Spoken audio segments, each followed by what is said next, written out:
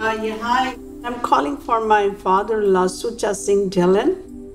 For some people, being a caregiver is in their nature. It's something they love to do. But even for them, the stress of caregiving can take its toll. Hi, I'm Dr. Yvette Lu.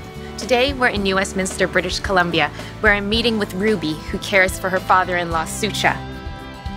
Ruby loves to care for people, but even so, it can sometimes leave her emotionally and physically drained.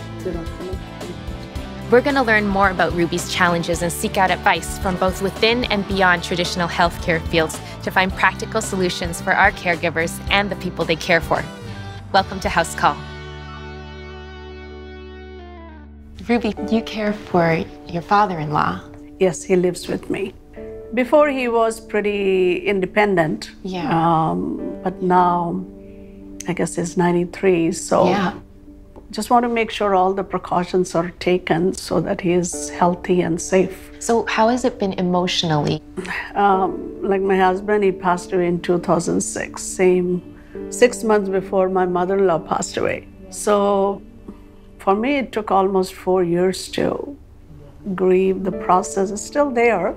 For him, then he was okay for four or five years, but now lately, yeah, he gets sad sometimes. Yeah. Yeah. And how do you deal with that when it happens? I guess I have to be strong for him. Yeah. So it sounds like he really relies on you. Yeah. Yeah. So for me, it doesn't matter how tired I am. It's I just feel it just comes naturally that I want to make sure he's okay. Yeah. Now, how has caregiving affected your physical health? I know you had some injuries. Actually, yes, I had a big accident in uh, 2014. My car flipped, skid, so that's when my arm got dragged. I still have glass in my arm. It's in the wrist, so I'm on painkillers myself. So What does your doctor tell you to do for your arm to uh, maintain he can your They fitness? can't. I can't go physio No. because there's still a little bit glass in here. So it's just a day, day-to-day living, you know, exercise and whatever the best I can do. Mm-hmm. Is it hard to find time to, to exercise? It is. That's the tough part, right? Trying to find the balance. That's the thing. Balance between caring for this person who completely Yes. depends on you Yeah. and also caring for yourself. Because if you don't have your own health, Yeah. then you won't be able to care for the other Yeah. person. It went in my mind that if I keep on carrying on like this, Yeah. who's going to take care of him?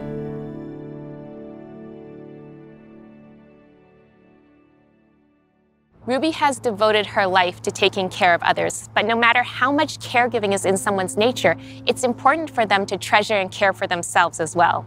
We know that Ruby loves the outdoors, so we found a beautiful park near her home in Delta, British Columbia called the Burns Bog Nature Reserve. So, how old is your oldest son? He is 35. 35, okay. We've also invited Amy, who has a background in physiotherapy and kinesiology, to join Ruby on her walk and show her some simple exercises that she can do to help improve her physical fitness. So, I've heard that you're getting back into yourself. Ah, yes, I'm trying to, yes. Good. That's great that you're starting that initiative. Thank you. The biggest focus is starting simple and doing things that are accessible to you and going out. Anybody can find a park to go into and go for a walk. And then you can take a stop and rest at a bench or anywhere and then start with some mm-hmm. stretching. This is probably the right height. Uh-huh. So set it up. And then when you push your leg down, you're going to feel that stretch right behind your hamstring, right? Mm-hmm. Got it? So stretching should be uncomfortable, never mm-hmm. painful. And it's working on your balance at the same time, right? I never knew about this wonderful place. Lot of trees, lot of trees. So Ruby, the next one we can do is when you find a bench, we're gonna get our leg, any leg you can start with, ankle over knee, and then you can push down. Good. Okay. This one's stretching more your hip and your bum. And then we can always switch and then do the other side. And cross. Somehow I find uh, nature gives me peace within inside myself. Spending time in nature has been shown to boost the immune system, improve stress, reduce anxiety, and even help with sleep. So Ruby, the next one we're gonna do is once you're walking for about 30 minutes and you have a good, good warm up, um, we're gonna do something that's gonna strengthen a few of your leg and bum muscles. So I'm gonna tie this around your ankles. Okay, I'm gonna get you to put your legs shoulder width apart. And then we're gonna start with forward. Excellent, and hold one, two, three, and back. Excellent. And you're gonna go outwards, which is abduction. Keep your feet turned this way. Good. Hold it. One, mm-hmm. two, three, and in. And then we're gonna do extension going backwards. I One, wish I can do this every day, just to have something like my own time and be in your own thoughts and looking after yourself. We're gonna work the bicep muscle. Keep your shoulders stable, just this mm-hmm. elbow. One, two, three, and back down. And you can do eight to 12 reps and two to three sets. And the last one we're gonna do is we're gonna move away from the tree just a little bit. And so we're gonna have feet shoulder width apart. You're gonna come down. It was really great today. Like you're very close to the nature.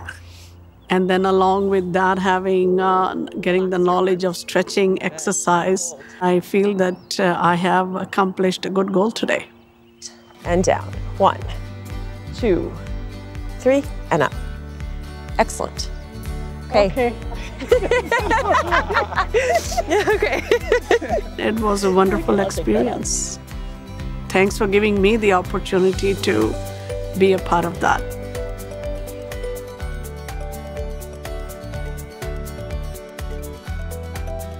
Ruby's devotion to caregiving is a primary focus in her life. She truly loves it, but it's affecting her health, both physically and mentally. I hope that by connecting to nature and practicing some simple exercises today, that we've given her some tools that will help her find a healthier balance between caring for others and caring for herself. Do you use nature to improve your health? Tell us about it by sending us a message or posting a comment, and share this video with someone who would benefit from more nature in their life and to raise awareness about caregiving. From Delta BC, I'm Dr. Yvette Lu. See you next time.